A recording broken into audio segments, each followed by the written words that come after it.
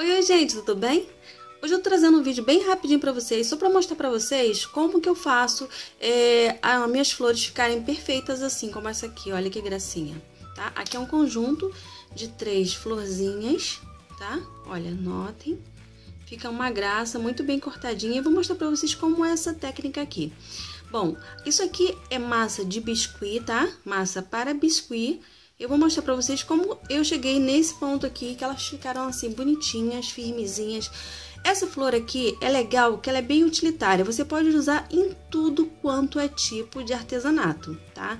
Tanto no scrap como para biscuit mesmo. Eu vou mostrar pra vocês, ok? Então vamos lá, olha. A massa que eu sempre uso é da JL Artesanato. É muito fácil de encontrar, eu vou deixar o link aqui na descrição do vídeo, tá? O ideal é que vocês comprem ela branca. Você mesmo pode tingir como você quiser, ok?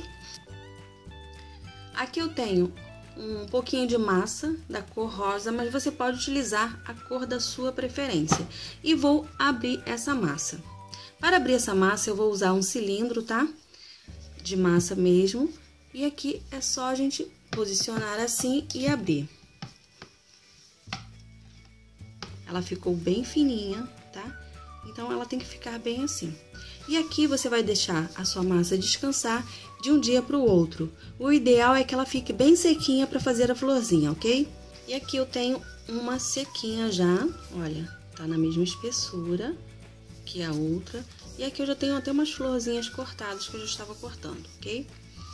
Que foi essa florzinha que eu mostrei para vocês aqui, tá?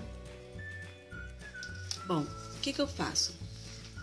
Eu comprei esses cortadores aqui, tá? Esse aqui é 1.5, que é o maior. Aí tem esse daqui, que é o jumbo, tá? Que é um pouquinho menor que esse.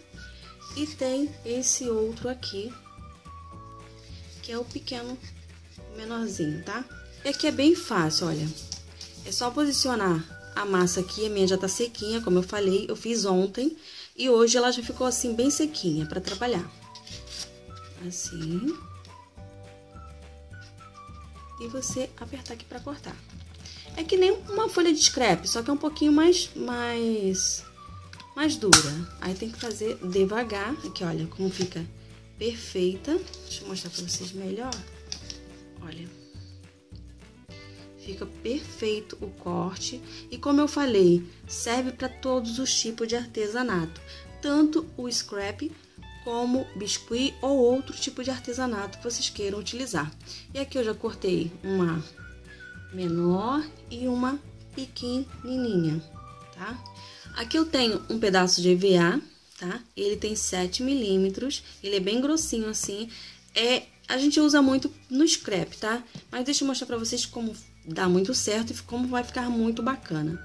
Aqui eu já tenho a florzinha já cortada, como eu mostrei pra vocês. Eu posiciono aqui, pego o boleador, tá? E vou fazendo esse movimento. Como a massa tá bem sequinha, ela não vai rasgar, tá vendo? Ela vai curvando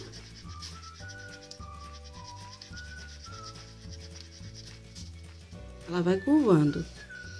Tanto você pode usar esse boleador menor, como um boleador assim um pouquinho maior. Deixa eu usar maior para mostrar para vocês.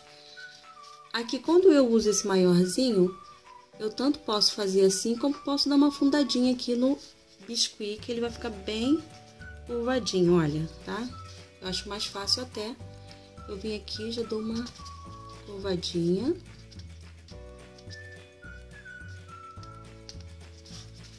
E a florzinha vai ficar assim, olha, meia tortinha. Aí eu venho, viro ela assim e aqui eu dou uma fundadinha aqui no meio, tá? Que ela vai pegar o formato da flor certinha.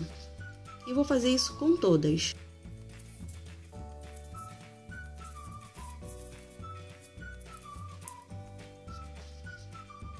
Só essa pequenininha aqui que eu faço só no meio.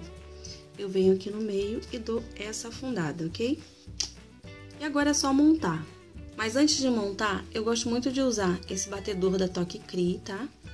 E o pincel giz a seco. Aí eu molho aqui, ó.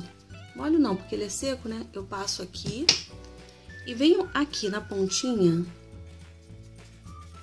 e dou uma sombreada assim, olha, eu vou pintando.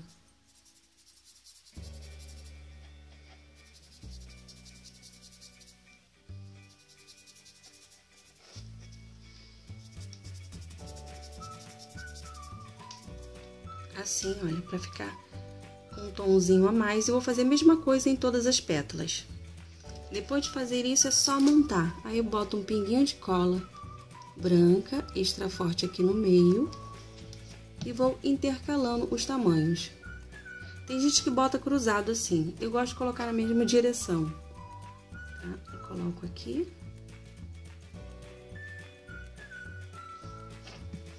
Coloco mais um pinguinho de cola em cima dessa.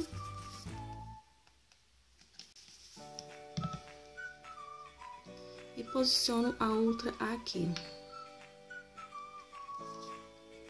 Para fazer esse miolinho aqui, olha, eu já tenho um vídeo aqui no canal do, do YouTube onde eu ensino a fazer esses botões aqui. É só você clicar aqui no card que está aparecendo agora, que você vai ver como que eu faço as minhas miçangas derretidas. E aqui para botar o miolinho também é bem fácil, é só você vir aqui no meio, ó, botar um pouquinho de cola branca. E pegar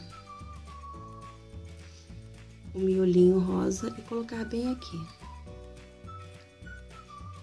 Olha foi assim que eu fiz as outras. Você pode fazer da cor que você quiser e você também pode intercalar as cores, colocar bem coloridinho, também vai ficar linda, gente. É, vocês podem usar tons fortes ou tons fracos. Essa aqui eu tô fazendo porque eu vou utilizar para o vídeo que vai ao ar essa semana e então vocês vão ver o resultado depois. Então o resultado foi esse. Se você gostou dessa dica, clique em gostei para mim, se inscreve aqui no canal se você não for inscrito, deixe um comentário, seu comentário é sempre muito importante para o crescimento do canal. Um beijo para vocês, fiquem com Deus e até o próximo vídeo. Tchau, tchau!